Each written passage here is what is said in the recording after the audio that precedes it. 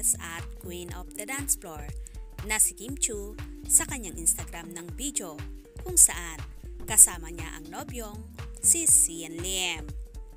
Ayon kay Kimi, he's back. Back again. Kung saan kumakanta pa si Chinita Princess.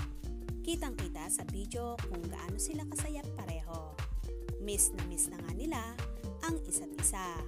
Kaya naman, sinusulit nila ang pagsasama nila. Marami namang mga fans ang nagdiwang sa muling pagkikita ng Kimsi. Who's back, back, back, back again, and, and, Shady's back, back, back, tell a friend, hey, hey!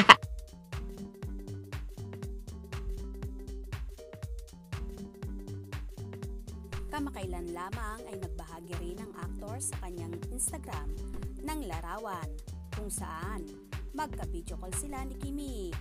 Ito kasi ang nag-uugnay sa lovebirds habang nasa locking taping ang aktor. Every time, nag-a-update sila sa isa't isa. Ayon sa naging poste ng aktor, Love at First Sight at Chinita Princess. Sumagot naman agad si Chinita Princess. Hala, kala ko, IGs lang. Dapat, inayos ko pa ang post ko. Ha ha ha ha.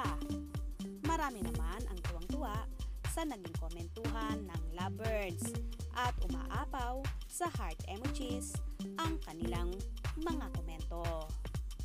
Kahit nga ang kasamahan ni Sian Lim na si Cher Valdez ay napakomento rin.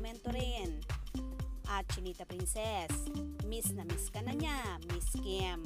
At Sian Lim, kaya naman pala ang gandang ngiti mo, lalo kanina sa set. Tila tinutukso pa ni si Sian kung bakit ito masayang masaya at ganadong ganado sa set na talaga namang ibinuking na niya. No more LDR na nga sa lovebirds ngayon dahil masayang masaya na silang magkasama. Anong inyong magiging reaction sa balitang ito? Just write down below.